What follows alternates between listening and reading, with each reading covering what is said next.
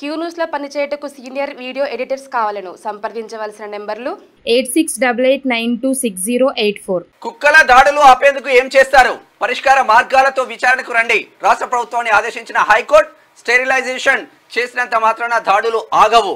విచారణ చర్యలు తీసుకోకపోతే ఉపేక్షించేది లేదని కామెంట్ జవహర్ నగర్లో ఘోరమైన సంఘటన. మొత్తం కూడా అక్కడ పీక్క తిన్నటువంటి పరిస్థితి. మొత్తం ఇట్లా ఇట్లా అంటే బాలుని తీసుకుపోయి అక్కడ తీసుకు పీక తిన్నటువంటి పరిస్థితి. ఇది ఒక్క చోటనే కాదు. రాష్ట్ర వ్యాప్తంగా చాలా చోట్ల జరుగుతూ ఉన్నాయి హండ్రెడ్ పర్సెంట్ దీనిపైన కుక్కర్ల నియంత్రణకు సంబంధించి అంటే వేది కుక్కర్ల నియంత్రణకు సంబంధించి హండ్రెడ్ పర్సెంట్ ఫోకస్ పెట్టాల్సిన అవసరం ఉన్నది.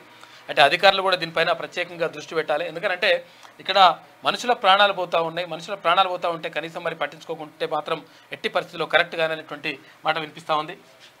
జనంపై వీధి కుక్కల దాడులు అరికట్టేందుకు ఎలాంటి చర్యలు తీసుకుంటారని తీసుకుంటారో చెప్పాలని రాష్ట్ర ప్రభుత్వాన్ని హైకోర్టు ఆదేశించింది. స్టేట్ లెవెల్ కమిటీలు వేయడం కాదని దాడులు నివారించాలని తేల్చి చెప్పింది. ఇక పరిష్కార మార్గాల్లో తదుపరి విచారణకు హాజరు కావాలని ప్రభుత్వాన్ని అటు డిఏ జిహెచ్ఎంసీ అధికారులను ఆదేశించింది. ఈ అంశంపై కోర్టులకు పూర్తి స్థాయి అవగాహన ఉండదని నిపుణుల కమిటీ చెప్పాల్సి ఉంటుందని వెల్లడించింది. ఇక కుక్కల దాడులు నివారించాలని కోరుతూ హైకోర్టులో దాఖలైన పలు పిటిషన్లపై చీఫ్ జస్టిస్ అలోక్ అరా అదారే అరాదే జె అనిల్ కుమార్తో కూడిన ధర్మాసనం గురువారం విచారించింది. ఈ మేరకు ఈ మేరకు ఆ బెంచ్ కీలకమైనటువంటి కామెంట్లు చేసింది. ఇక్కడ మేము అది చేస్తున్నాం ఇది చేస్తున్నాం అని చెప్పడం కాదు క్లియర్గా ఏం చేస్తున్నారు ఏం కథ అనేటువంటి తీసుకొని రండి అని చెప్పేసి ఇక్కడ ప్రభుత్వాన్ని అటు జిహెచ్ఎంసీ అధికారులను కూడా ఆదేశించింది హైకోర్టు. మీకు వార్తలు రాయడం విశ్లేషణ చేయడం వచ్చా? అన్యాయాన్ని ప్రశ్నించడం తెలుసా? ఇంకెందుకు ఆలస్యం? క్యూ న్యూస్ మిమ్మల్ని ఆహ్వానిస్తుంది.